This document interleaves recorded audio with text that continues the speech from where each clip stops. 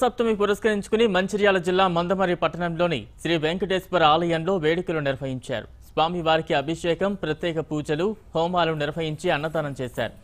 భక్తులు అధిక సంఖ్యలో హాజరై స్వామివారిని దర్శించుకున్నారు.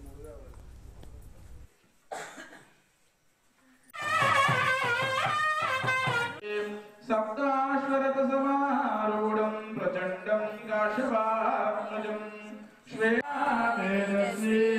Ishvara, Ishvara.